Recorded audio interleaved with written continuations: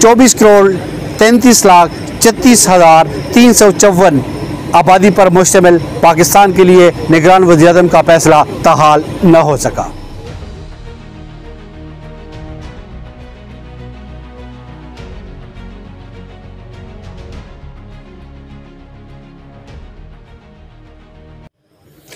बिस्मिल्लाम नाजरीन, मैं हूँ नबीन और आप देखें लबजाज T V P M house के गेट के बाहर मौजूद है। पईम अख्तर साहब सीनियर साहब भी हमारे साथ मौजूद है। असल सर वालेकुम अस्सलाम क्या हाल है आपके? सर क्या हो रहा है?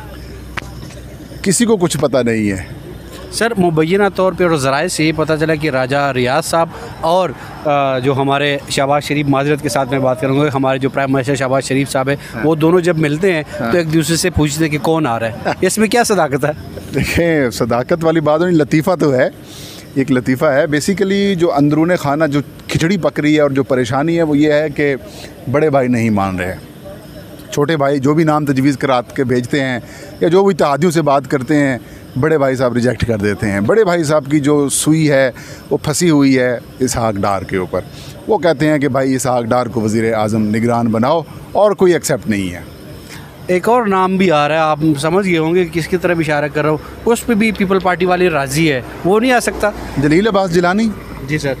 जलील अब्बास जिलानी के हवाले से एक बड़ी ज़बरदस्त किस्म की राय हुकूमत के अंदर मौजूद है। वो कह रहे हैं कि ये कैलिबर नहीं है कि वो प्राइम मिनिस्टर बन सकें। बाकी हफीज़ शेख के ऊपर आईएमएफ कह रहा है कि उनकी तरफ़ से आना चाहिए। अब होगा वो जहाँ पे मैं रहता हूँ ना जिस इलाके में उधर से जिसका नाम आएगा ना वही होगा। तो आसिफ अली जद्दारी साहब तो बिल्कुल धड़ल्ले से और बड़े कॉन्फिडेंस के साथ कह रहे हैं कि मैं जो चाहूँगा वही होगा यानी उसका निगरान वजी अजम आएगा। मतलब उनका नाम वही होगा जो वो कहेंगे। जो वो कहेंगे। जो जो वो कहेंगे। तो मसला ये कि वो तो ज़ाहिर है आप सब उन्हीं की पॉकेट में है। फ़िलहाल इश्यूज़ जो हैं वो इस वक्त हैं कि नवाज़ शरीफ साहब की सुई अटकी हुई है इस आकदार के ऊपर। वज़ी अजम शहबाज शरीफ परेशान हैं। राजा रियाज़ को उन्होंने मैनेज किया हुआ है और मैं ये देख रहा हूँ कि अगर तो इस हाकदार वाले नाम से हुकूमत यानी हुकूमत से मुराद ये कि मुस्लिम लीग नून पीछे ना हटी तो फिर ये मामला जो है वो इलेक्शन कमीशन की तरफ़ जाएगा और इलेक्शन कमीशन आपको पता कौन करेगा। वही पंजाब वाली एपिसोड रिपीट होगी और जो वहाँ अच्छा सर मैं अपनी असलाह के लिए सीनियर जर्नलिस्ट और अपने नाजरीन के लिए एक असलाह के लिए ये जानने की कोशिश करूँगा। अगर फ़र्ज़ करें कल नाम पैनल नहीं होता तो पार्लियामानी कमेटी के पास ये चीज़ जाएगी क्या होगा? देखिए आइन का आर्टिकल 224 ए जो है वो ये कहता है कि जब असम्बली तहलील हो जाएगी तो तीन रोज़ के अंदर वज़ी अजम और अपोजिशन लीडर जो हैं वो मशावरत करेंगे। तीन रोज़ में अगर कोई इतफाक़ राय नहीं हो जा, हो पाता तो फिर ये मामला जाएगा पार्लिमानी कमेटी को। वज़ी अजम और अपोजिशन लीडर दो दो नाम जो हैं, वो पार्लिमानी कमेटी को भिजवाएँगे पार्लिमानी कमेटी जो है, वो सैनट और कौमी असम्बली के मेम्बरान के ऊपर मुश्तमिल होगी। तीन रोज़ उनके पास होंगे। अगर वो इतफ़ाक़ राय पैदा करने में कामयाब हो गया है तो ऐलान कर दिया जाएगा। और अगर इतफ़ाक़ राय ना हुआ तो फिर वही दो दो नाम जो हैं, वो इलेक्शन कमीशन ऑफ़ पाकिस्तान को भिजवा दिए जाएँगे।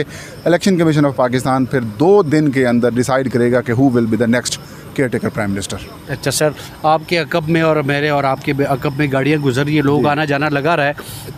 तो कल हम एक और डिनर एक्सेप्ट कर सकते हैं कि एक और डिनर होगा और एक मुशावरत होगी? मेरे ख्याल में अब जो अगली मुशावरत होगी वो लाहौर में होगी। यहाँ पर नहीं होगी क्योंकि वज़ी अजम साहब लाहौर जा रहे हैं। आज थोड़ी देर बाद वो लाहौर रवाना हो जाएँगे। और फिर जो कुछ होगा लाहौर होगा। या लंदन से हुक्म आएगा लाहौर में इम्प्लीमेंट होगा या फिर पिंडी की तरफ़ से जो हुक्म आएगा वही करेंगे। जो कहेंगे वही होगा। वज़ी अजम साहब हर मीटिंग में कहते हैं कि फ़ौज ना होती तो मेरी हुकूमत ना चला पाता। वो पुल का इस्ता करना चाहते हैं ये फ़ौज निकल रहे बारकव वाला जो कि सी चेयरमैन के कस्टडी में जी जी जी वो मतलब क्या करें हम ना?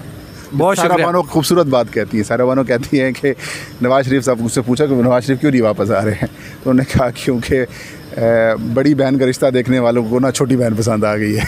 बहुत शुक्रिया बहुत शुक्रिया। नहीं नहीं बस ये आखिरी डिनर था।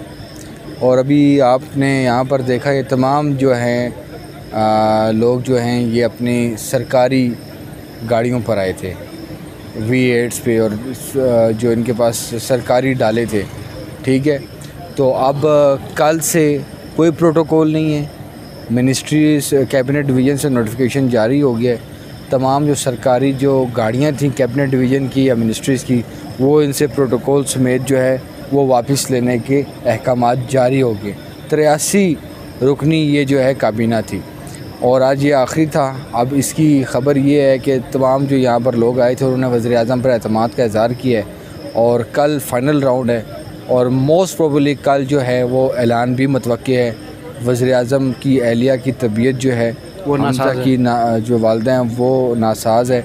तो वो आज भी गए थे और अब हमारे भी सोर्सेज से बात हुई है कि कल सुबह जो है पीएम भी लाहौर चले जाएँगे। तो जो राजा रियाज से जो मुलाकात होनी है वो बहुत हद तक इम्कान है कि शायद यहाँ की बजाय वो भी लाहौर में हो। ठीक है? तो कल प्राइम मिनिस्टर जो है वो ऐलान भी कर सकते हैं जो। केयर प्राइम मिनिस्टर के हवाले से। बड़े भाई मान जाएँगे?